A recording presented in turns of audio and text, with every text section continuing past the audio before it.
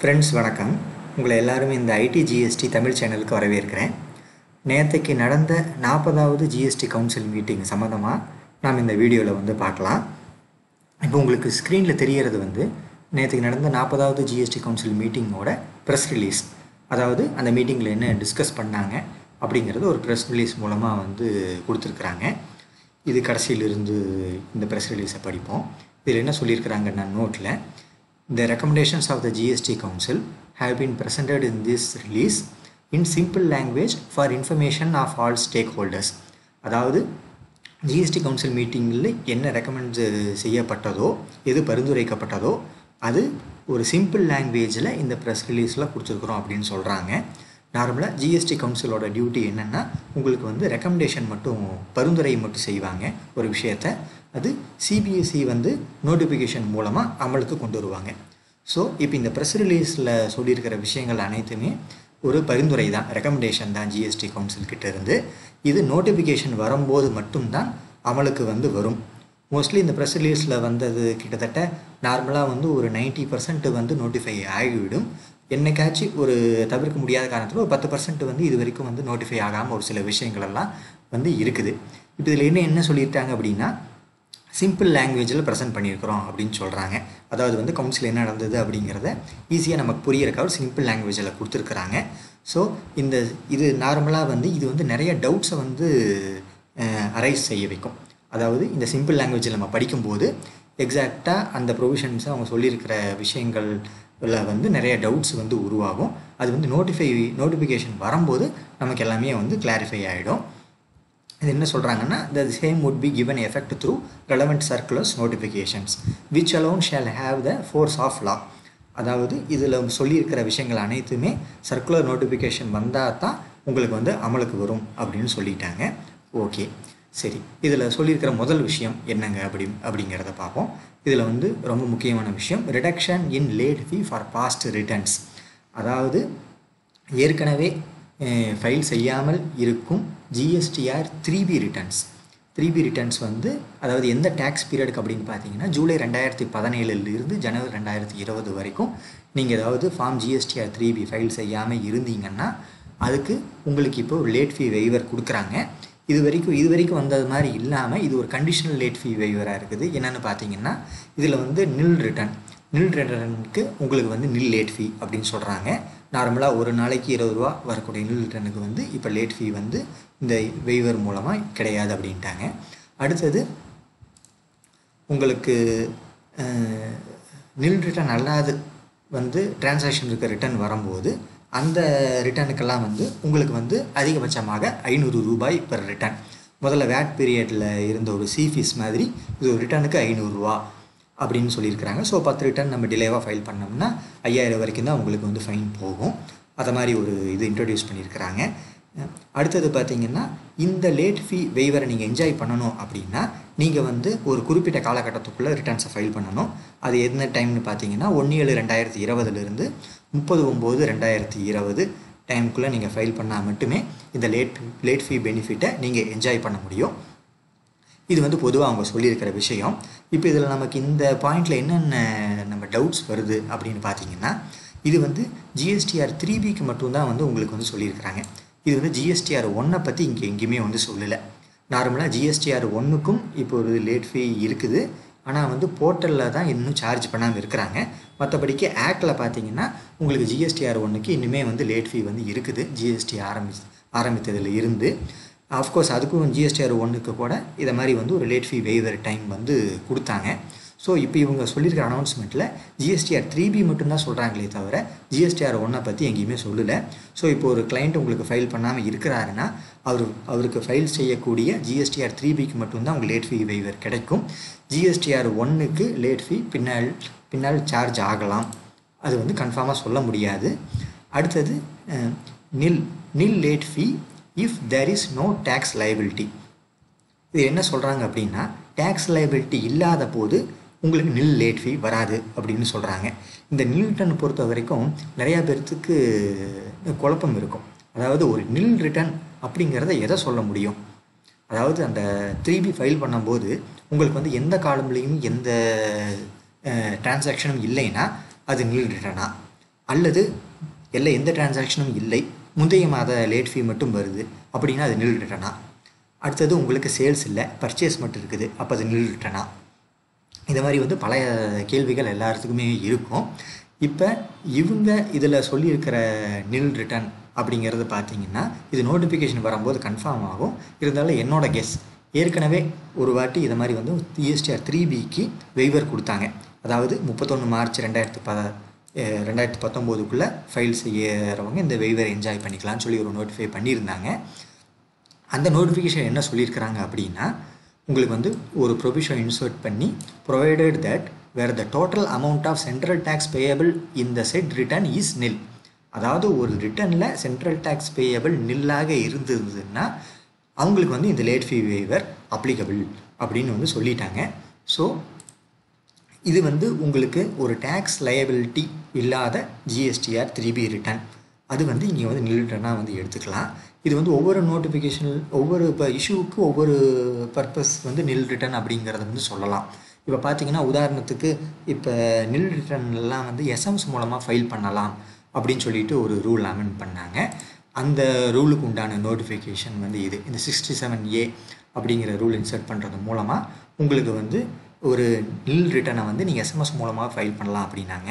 அதில் ஒரு explanation insert பண்ணியிருக்கிறாங்க பாருங்கள் for the purpose of this rule a nil mean shall mean a return under section 39 for a tax period that has nil or no entry in the tables in form GSTR 3B அதாவது GSTR three பியில் எந்த டேபிள்லையும் எந்த என்ட்ரியும் இல்லாத ரிட்டனே ஒரு nil return for the purpose of this rule இந்த ரூலுக்காக அது வந்து நில் ரிட்டர்ன் அப்படிங்கிறத சொல்லலாம். அப்படின்னு சொல்லியிருக்கிறாங்க. ஏன்னு பார்த்தீங்கன்னா இப்போ உங்களுக்கு முந்தைய மாத லேட் ஃபீ இந்த மாத ரிட்டனில் வருது. ஆனால் இந்த மாத ரிட்டர்ன் வந்து உங்களுக்கு வந்து எந்த டிரான்சாக்ஷனுமே இல்லை. அப்படிங்கும்போது நீங்கள் அந்த லேட் ஃபீ கட்டாமலே நீங்கள் வந்து ஒரு எஸ்எம்எஸ் மூலமாக அந்த ரிட்டர்னை ஃபைல் பண்ணக்கூடாது. அப்படிங்கிறதுக்காக இந்த ரூல் பர்பஸ்க்காக நியூ ரிட்டன் அப்படிங்கிற டெஃபினிஷன் வந்து இதை மாதிரி கொடுத்துருக்குறாங்க.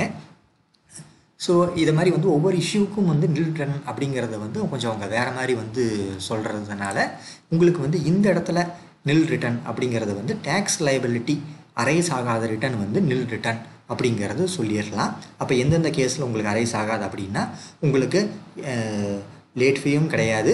எந்த டிரான்சாக்ஷன் பர்ச்சேஸ் எதுவுமே இல்லை. அப்படிங்கிற பட்சத்தில் ரிட்டர்னாக எடுத்துக்க எடுத்துக்கலாம் இந்த வெய்வருக்காக அடுத்தது உங்களுக்கு முந்தைய மாத லேட் ஃபீ மட்டும் உள்ளது. இந்த மாதம் பர்ச்சேஸ் சேல்ஸ் எதுவும் இல்லை. அப்படி என்றாலும் அதை ரிட்டர்னாக எடுத்துக்கொள்ளலாம். அடுத்தது உங்களுக்கு பர்ச்சேஸ் மட்டும் ஐடிசி மட்டும் கிளைம் பண்ணுறீங்க உங்களுக்கு சேல்ஸ் ஆர் சர்வீஸ் ப்ரொவிஷன் எதுவுமே இல்லை. அவுட்வேர்ட் சப்ளை எதுவுமே இல்லை. அப்படின்னாலும் அதில் வந்து உங்களுக்கு டேக்ஸ் லைபிலிட்டி அரைஸ் ஆகாது. அது இந்த கேஸ்க்கு ரிட்டர்னாக எடுத்துக்கொள்ளலாம். அடுத்தது exempted purchase and exempted sales மட்டும் நீங்கள் செய்கிற டீலர் பியூர்லி எக்ஸம்டட் டீலர் அப்போ வந்து உங்களுக்கு வந்து எக்ஸம்டட் பர்ச்சேஸ் எக்ஸம்டட் சேல்ஸ் மட்டும் செய்கிறதுனால உங்களுக்கு டேக்ஸ் லைபிலிட்டி அரைஸ் ஆகாது. அதையும் வந்து நில்டனாக இந்த கேஸுக்கு வந்து எடுத்துக்கொள்ளலாம். அடுத்தது இவங்க எந்த ரெண்டாவது பாயிண்டில் என்ன சொல்கிறாங்க அப்படின்னா maximum late fee capped at five hundred per return இதில் ஜென்ரலாக படிக்கும்போது எல்லாத்துக்கும் ஒரு சந்தேகம் வருது. இந்த ஐநூறு ரூபாய் அப்படிங்கிறது வந்து சிஜிஎஸ்டி ப்ளஸ் எஸ்ஜிஎஸ்டியா அல்லது சிஜிஎஸ்டிக்கு ஐநூறு ரூபாய் எஸ்ஜிஎஸ்டிக்கு ஐநூறு ரூபாய்ங்கிற ஒரு சின்ன ஒரு சந்தேகம் வருது. இது நோட்டிஃபிகேஷன் வரும்போது கிளாரிஃபை ஆகிடும் ஓகே இப்போ இது ஃபஸ்ட்டு பாயிண்ட்டை டிஸ்கஸ் பண்ணிட்டோம். இது ரெண்டாவது பி பாயிண்ட் இந்த பி பாயிண்டில் என்ன சொல்கிறாங்க அப்படின்னா ஸ்மால் டேக்ஸ் பிளேயர்ஸ் அதாவது அஞ்சு கோடிக்கு கீழே டர்னோர் உள்ள நபர்களுக்கு பிப்ரவரி மார்ச் ஏப்ரல் மாத ஜிஎஸ்டிஆர் ரிட்டர்ன் இதில் வந்து உங்களுக்கு இன்ட்ரெஸ்ட் கன்செஷன் மட்டும் கொடுக்குறாங்க. என்னென்னா இப்போ நார்மலாக வந்து முதல்ல இந்த மூணு மாதங்களுக்கு ஒரு ஸ்பெசிஃபைடு டேட் ஒன்று சொல்லியிருந்தாங்க.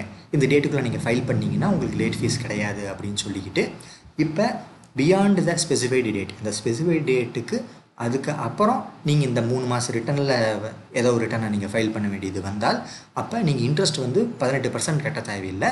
அதை ஹாஃபாக ரெடியூஸ் பண்ணி ஒம்பது பர்சன்ட் மட்டும் நீங்கள் கட்டினா போதும் அப்படின்னு சொல்கிறாங்க அந்த ஒம்பது பர்சன்ட் வந்து உங்களுக்கு முப்பது ஒம்பது ரெண்டாயிரத்தி இருபதுக்குள்ளே நீங்கள் ஃபைல் பண்ணால் மட்டுமே உங்களுக்கு அவைலபிள் அதை தாண்டி ஃபைல் பண்ணிங்கன்னா நார்மல் இன்ட்ரெஸ்ட் பதினெட்டு பர்சன்ட் உங்களுக்கு அப்ளிகபிள் ஆகிடும் இதில் என்ன சொல்கிறாங்க அப்படின்னா இப்போ வந்து உதாரணத்துக்கு ஒரு பிப்ரவரி மாதத்துக்கு ஒரு டியூ டேட் வந்து சொல்லியிருந்தாங்க.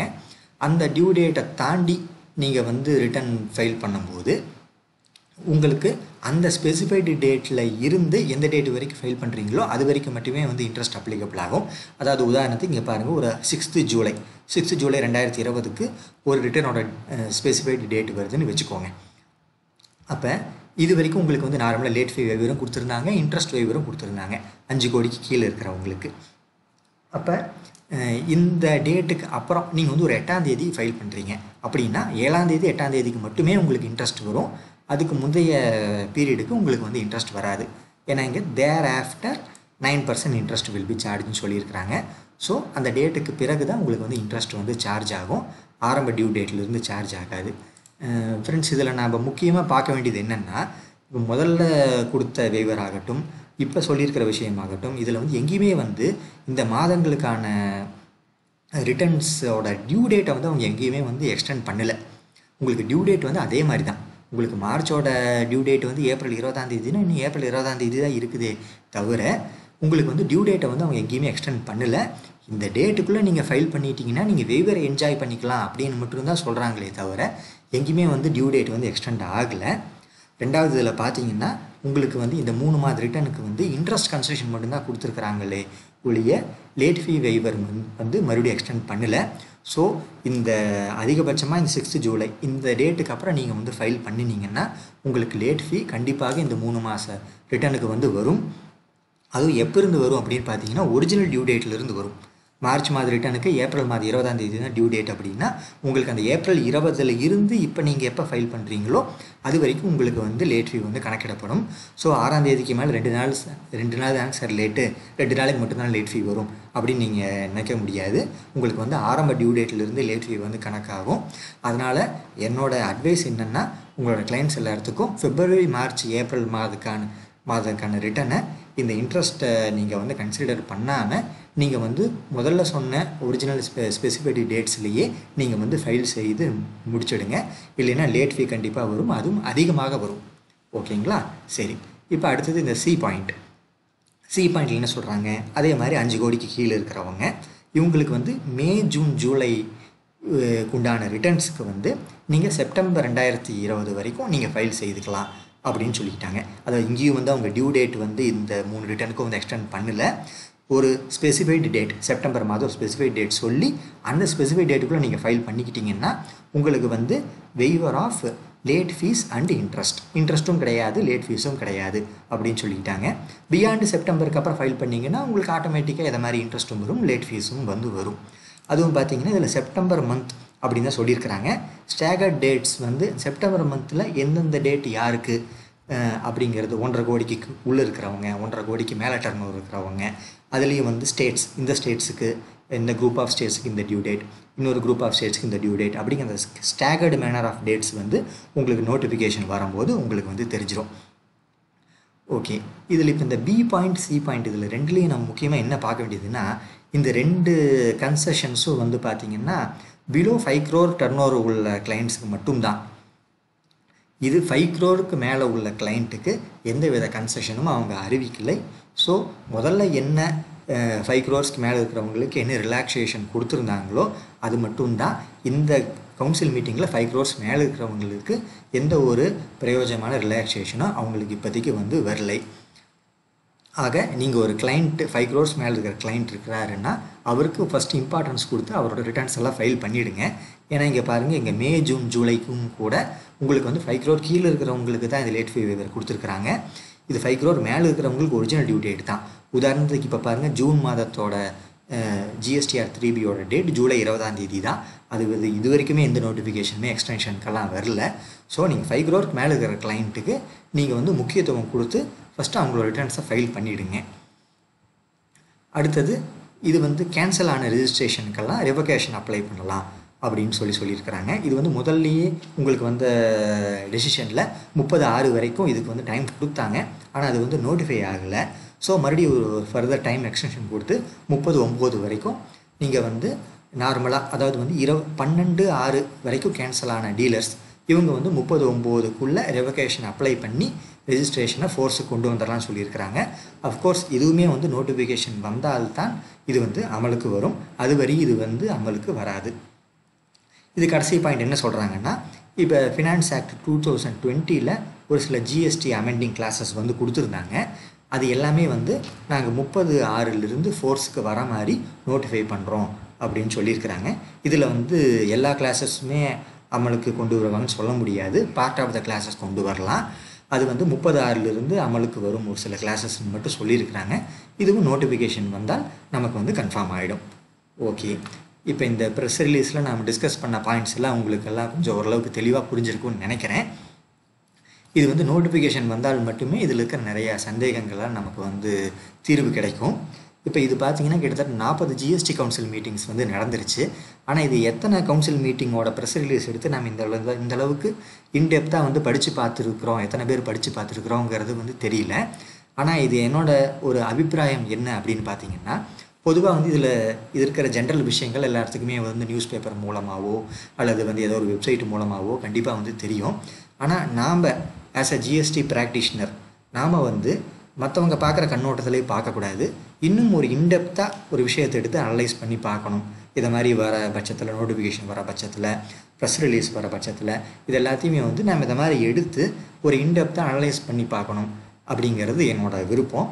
அப்போ தான் வந்து நம்மளோட நாலேஜ் வந்து உங்களுக்கு வந்து டெவலப் ஆகும். அடுத்தது இந்த இப்போ நான் உங்களுக்கு எக்ஸ்பிளைன் பண்ணியிருக்கிறது எல்லாமே வந்து புரிஞ்சிருக்கும்னு நினைக்கிறேன். இதில் வந்து இது ஏன் இவ்வளவு நம்ம ப்ரெஸ் ரிலீஸ் இன்டெப்த்தாக பார்க்குறோம் அப்படின்னம்னா இது இப்படி பார்க்கும்போது தான் நோட்டிஃபிகேஷன் வரும்போது இந்த பாயிண்ட்ஸ் எல்லாம் கவர் ஆகிருக்கா அப்படிங்கிறது வந்து நமக்கு தெரியும். அந்த ஒரு காரணமும் இது அந்த ஒரு காரணத்துக்காகவும் நாம் இந்த ப்ரெஸ் ரிலீஸை நம்ம இவ்வளோ இன்டெப்த்தாக வந்து அனலைஸ் பண்ணுறோம் ஓகே நண்பர்களே. என்னுடைய சேனலை சப்ஸ்கிரைப் பண்ணாமல் இருந்தால் சப்ஸ்கிரைப் செய்து விடுங்கள். ஏதாவது இது சம்மந்தமாக ஏதாவது டவுட்ஸ் இருந்ததுன்னா கமெண்ட் பாக்ஸில் தெரிவிங்க. என்னால் இயன்ற அளவு உங்களுக்கு வந்து பதில் அளிக்கிறேன். ஓகே நண்பர்களே அடுத்த வீடியோவில் உங்களை உங்களோட உங்களை சந்திக்கும் வரை உங்களிடம் விடைபெறுகிறேன். மிக்க நன்றி.